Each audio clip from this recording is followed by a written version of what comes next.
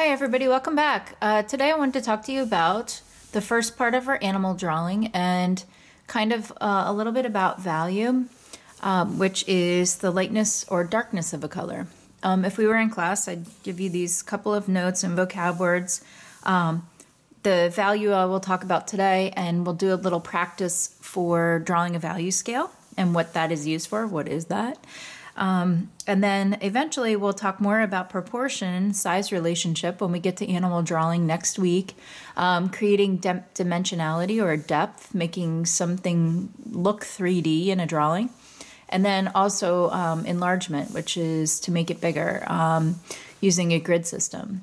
Um, I'm not going to focus so much on enlarge for this project, but um, definitely uh, show you how to make a grid system to keep all of your proportions correct and help your animal look realistic when we actually draw it. So anyway, getting back to value, um, hopefully you got a chance to either print out your animal or do a tracing of your animal. So this is a tracing based on the uh, computer screen.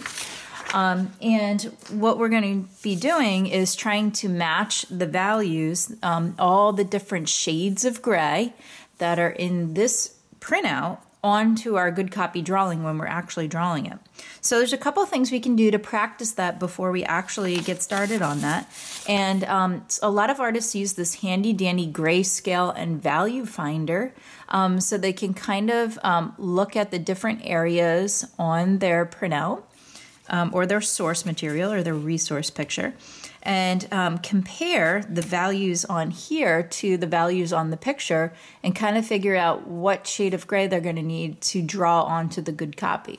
So we're going to make our own um, grayscale and value finder. Um, this one's pre-printed, just comes right from the art store like this. And we have a couple of these at school, but I do like to have everybody make a value scale um, because it will help you um, figure out how hard or light to, to use your pencils. And uh, it will also help you on your good copy paper uh, when you're actually drawing your good copy of your animal. So I'll put that aside for just a sec. Um, and uh, for this demo, I am going to show you two different ways. Now, some of you might just have the good old pencil at home, which is great. This can be definitely done with a regular pencil. And I'm not sure if my camera will focus on it, but um, you may notice that almost on on every regular pencil, there's a little code on it. Um, you've probably heard of a number two pencil, and for PSSA and things like that, they say make sure you use a number two pencil. Um, there's also a tiny little code on the bottom of this that says HB. That is um, how hard or soft the graphite is. And a lot of people say, oh, this is a pencil lead. Well, lead is a little bit of a misnomer. It's not actually lead, it's graphite. Um, you know, some people refer to it as lead, but it's just um, known as that name, even though it's not a pencil lead. Long story. There's a lot of theories about that. But um, I, for this demo, I'll talk uh, to you about it about, um, about the graphite. So, like I said, HB is a little code that says how hard or soft the graphite is.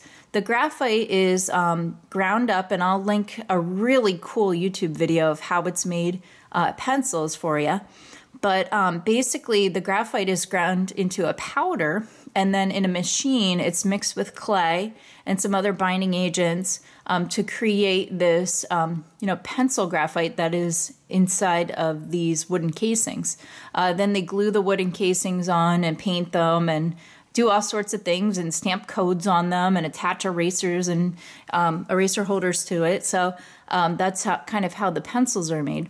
But artists are really concerned about how hard or soft this graphite is because um, I don't know if you've ever made a mark with a rock on your driveway or another rock at home. Um, but uh, you may notice that some rocks draw on other rocks. I don't know if you know what I'm talking about, but something I used to do when I was a kid. Some rocks are too hard to draw. Some some rocks are nice and soft, so they they draw really easily on the other rocks. So that's kind of the same uh, principle as your your pencil graphites. And um, if you have a kit like this at home, you might have a whole different brand, which is completely fine. There's um, all different great brands out there. And um, these are graded drawing pencils. So you might have a kit at home where it has like man, all these different pencils, they seem to just draw the same type of gray. What do they do? Um, well, there's actually codes on each of the pencils, and I can show you that a little bit closer, like for the sketch kit right here, if I can not get my reflection. Yep, there we go. Um, they are they have little codes on them. So HB, hey, guess what? That is exactly the same as our little yellow regular pencil. That will draw almost exactly the same as your regular pencil draws.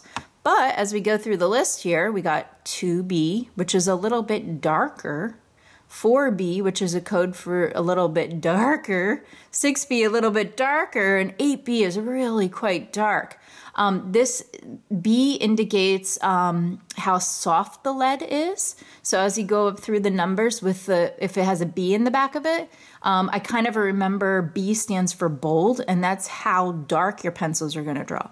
There is a whole nother side to this, which are actually H pencils. And let's see if I can hold this up. This is from another uh, drawing kit that I have.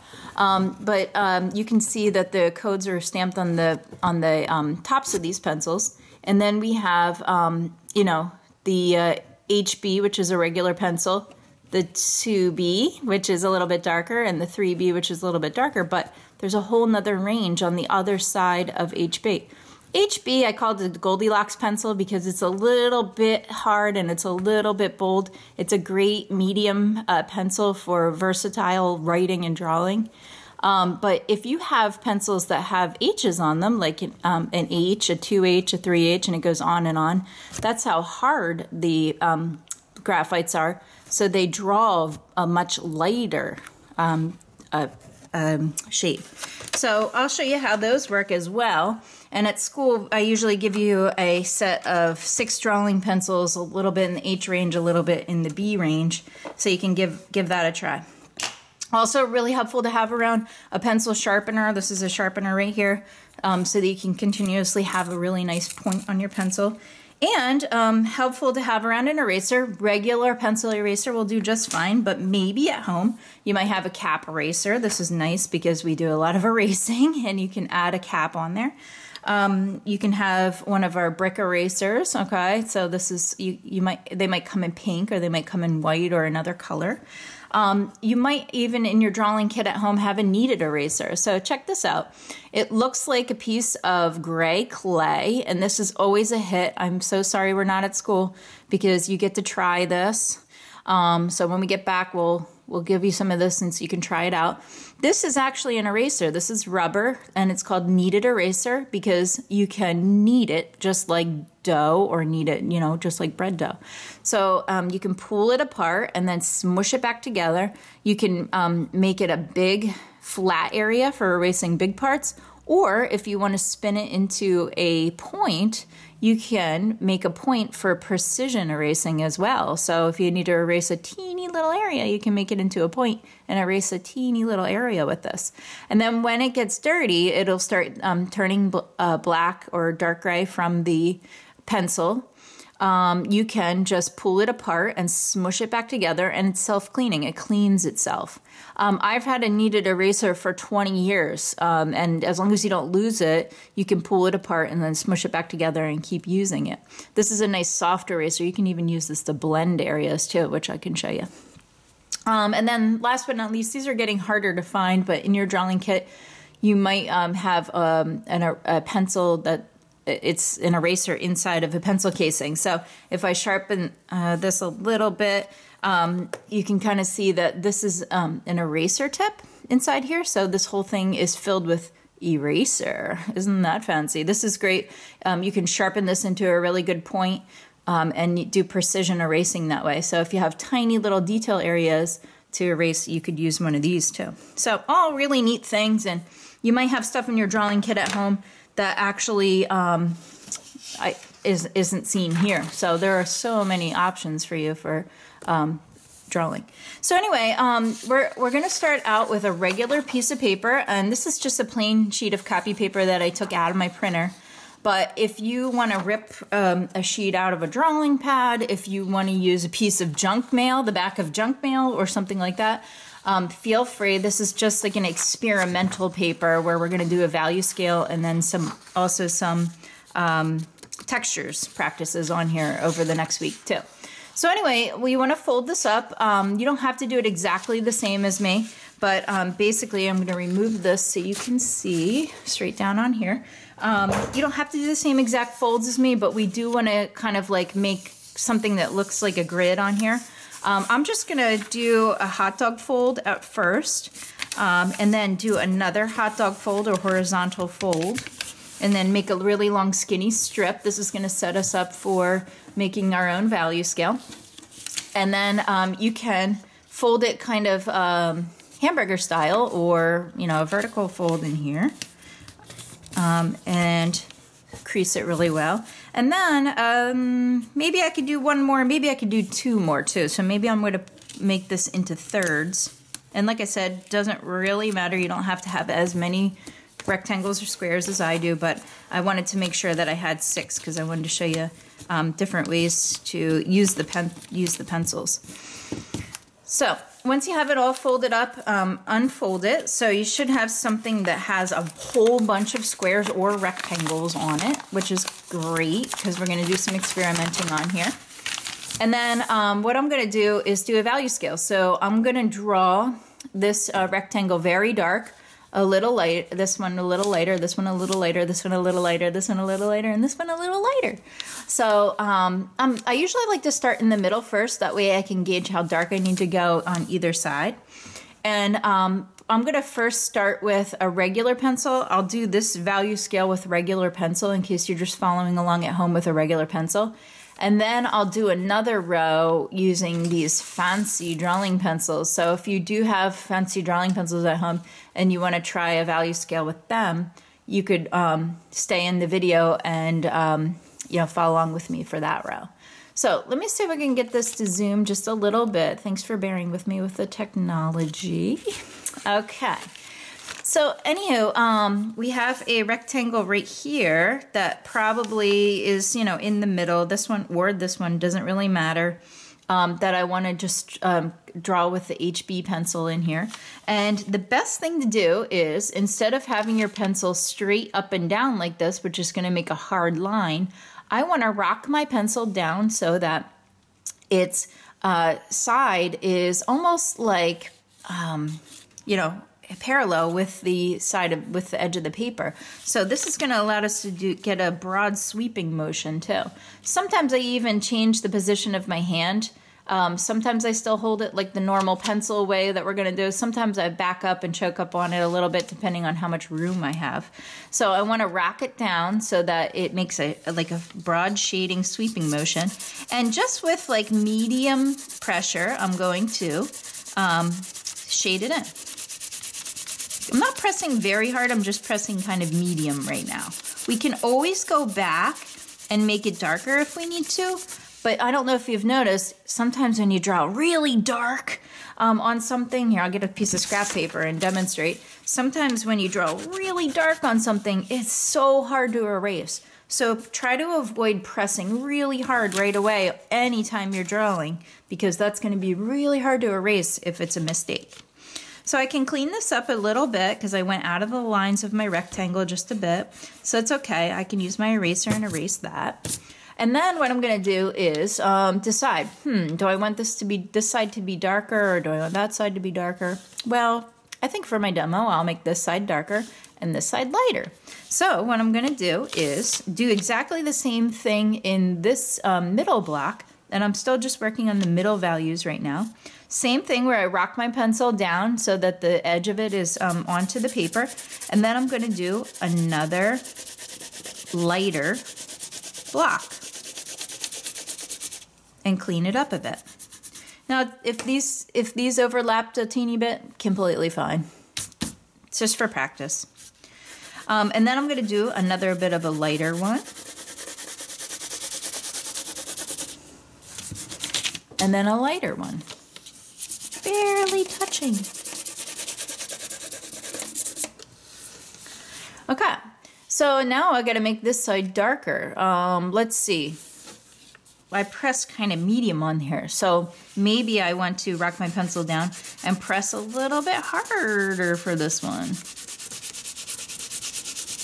It's okay if they look kind of similar right now too, because we can always go back and make them darker, like I said.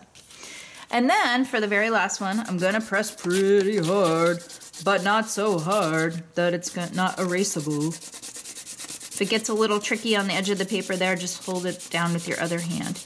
And by the way, guys, if you're doing this like on your couch or something, or some sort of soft surface, it's gonna be super hard. So try to get something hard underneath. This is a drawing board that I have underneath that obviously I've used for painting in the past, but um, this is a good hard surface.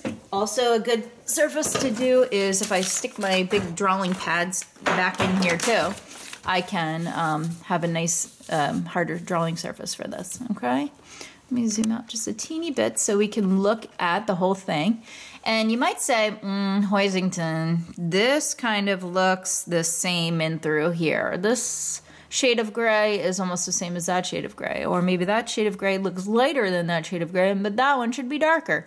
Well, now's the time to go in and start um, darkening some of these so that you can see a clear difference. Light, darker, darker, darker, darker, darker. Okay. So I'm just going to spin my paper because it's easier for me at my the way that my drawing table is set up. And um, it's also a kind of a neat thing to do too. You may notice that the pencil lines on here, um, the strokes are going um, in one direction. And uh, one thing that you can do to actually make it darker is to color uh, or shade in the opposite direction. That's called cross hatching. This is hatching lines going in one direction. Cross hatching is two lines going in opposite directions or overlapping um, sets of lines. So check it out. Um, this is my very super lightest one. I want this one to be a little bit darker. So what I'm going to do is um, rock my pencil down so that it's going to do the um, shading type of technique. And then I'll just go side to side with this as well. Whoa, it's getting darker because it's filling in some of those little spots. Um, I missed a couple, so I can just go in and try to press the same amount of pressure in through there and kind of shade it and blend it a bit. Um, and then you can you can see um, the lighting is not fabulous in here, but um, this one's a little lighter, and then this one is becoming a little bit darker. Hmm, okay. So if we zoom out a bit and um, compare them, we got um, I don't know. This one looks still a little bit lighter. So what I'm to do is do the cross-hatching technique and um, layer, keep layering thin layers of pencil on top of each other, and then create this to be a little bit darker. Um, when I was in college, I had a professor that wouldn't let us draw very dark. He said, my our drawing professor said, the best thing to do is to um, layer thin layers of pencil on top of each other instead of just pressing really hard and going really dark right away. And that's very smart because, as you know, you can't erase really, really dark pencil if you draw too dark and too thick. Plus, it makes dents in your paper too, like our experiment from earlier. It actually dents your paper a little bit and um, makes that very hard to get rid of. So we're just going to use really thin layers of pencil um, and overlap them on each other. You might say, hey, Mrs. Hoisington, I just saw you go on a diagonal. Definitely. You can overlap, you can do horizontal lines, vertical lines, diagonal lines, and the more you layer those um, pencil layers on top of each other, the darker that it's going to get. So I'm going to keep on going, and I'm still trying to achieve super dark uh, levels down here. So it might involve me doing some horizontal lines and some vertical lines and some diagonal lines on top of each other. And I'm trying to do the same even amount of pressure throughout the whole thing and not press crazy hard. Okay, last one. We are going to make this one super dark. So I'm laying my pencil down and guess what? My pencil is getting dull and it doesn't have a great point. Really good idea to periodically get your pencil sharpener and then sharpen it so that you have the best amount of um, area on the side of this to do your shading with. So it's okay to pause the video and take a break and sharpen Sometimes kids' um, hands get tired, so you can pause the video and kind of shake it out and do some little finger and hand exercises. Um, once you get your hands acclimated to holding a pencil for a long time and sketching with it, um, you might have to take some breaks and don't wear out your hand. Okay, so I'm doing a couple more horizontal and diagonal lines on here. And let's check it out. If we kind of hold it up like this and then zoom out just a tad, um, you can kind of see that we're starting to create um, light, darker, darker, darker, darker, darker. And I do see a problem. Do you see where the problem is? Yeah, that one. I think so too. So um, now's the time to kind of fine tune it a little bit and you can go back in and try to make it like look like a gradient. So lighter, lighter, lighter, lighter, lighter, lighter. You might say, oh, this one is too dark. So you can really lightly, you don't have to press hard. You can go really lightly with, an, with a pencil eraser and clean it up just a bit too. Also, if, if you have a kneaded eraser at home, these nifty little kneaded erasers, um, a cool thing to do is to just put it, um, make a little um, hat for your finger. Hello. And then you can dab it off and use the eraser that way too. And then just lift off a little bit of that graphite and get it to go away so it fades it a bit. So you can keep working on this and then your whole goal is to make it, um, you know, dark shades all the way to the light shades, okay? And this, keep this around. Don't lose this piece of paper because next week we're definitely going to use it when we bring when we get our animal pictures back in. Adorable. Um, and then we're going to use this to figure out where the different shades of gray are on our resource picture, and then how hard or soft we need to um, color or shade on our good copy paper. So this thing is not just busy work. This thing is going to come in handy. And again, this thing is called um, a value scale. Okay. And value, again, is how light or dark um, the shading is on your picture. Value can also mean um, how light or dark a, a color is, too. Um, and when, when we talk about painting, we'll talk a little bit more about um, uh, color values as well. But for now, we're just doing the shades of gray. All right, stay tuned. If you want to see how to use the graded drawing pencils, um, I will show you that next. If not, you can close the video. Okay, so as far as the graded drawing um, pencils, I've already lined mine up in um, the order that I have them in. Um, you might have, if you have a kit like this, you might have more numbers and letters um, all mixed in here. Um, the, at our house, since we have two artists here, we got so many. And we have all different brands too that are all mixed up all together because we're always drawing around here. So there's different brands and different um, pencils everywhere. So um, you can pick out a range of six that you'd like to try and then kind of put them in order. Um, I like to put the HB um, in the middle and then remember H is next after that. And then if we're kind of doing a continuum here of um, lighter graphites and then darker uh, graphites. These are kind of the H range pencils, and these are kind of the B range pencils. All right.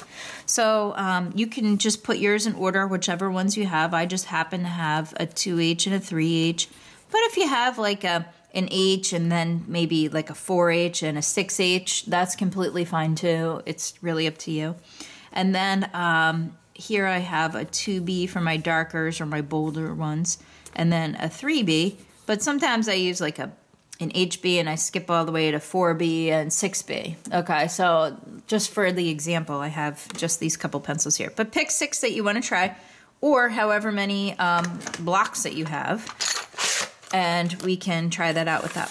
so anywho, just like I did for the previous um, demo, I started with the middle values and your middle value is going to be the H or the HB.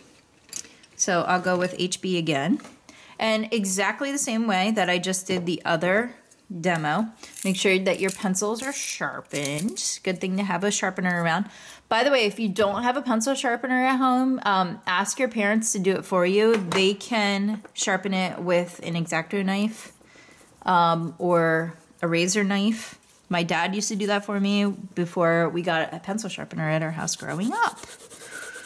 Yes, we didn't have a pencil sharpener. so I would always tell my dad to sharpen the pencils for me, and he did because he was a nice dad. Okay, so same way, um, and I'm just going to speed through this and probably use the fast forward uh, feature on my video editing. Same thing. So this is, I'll label these also for you guys. Um, this one I used my HB pencil. And this one is going, I switched out my pencil. This one is going to be the H pencil. And you can actually feel how hard this pencil is. So it makes these crazy little lines on here. And I'm gonna cross hatch and maybe hatch on a diagonal too.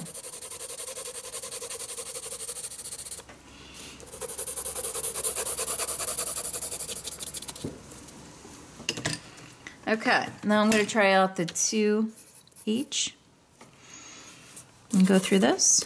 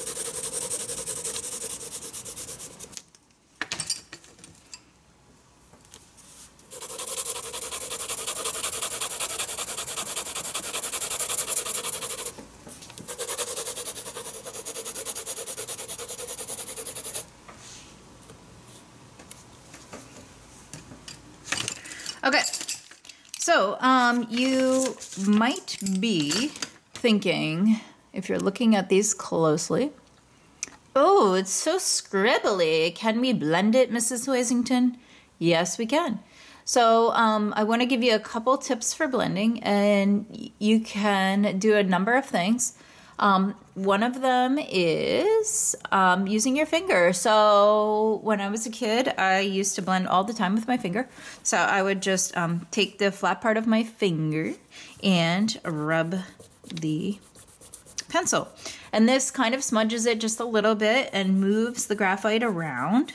Um, and pushes it to all the corners and fills in all those little white spots and things like that and kind of makes a fuzzy type of um, texture on here. Um, this is called burnishing and uh, well, it's a form of burnishing and we'll talk about that when, when I give you a couple more texture notes.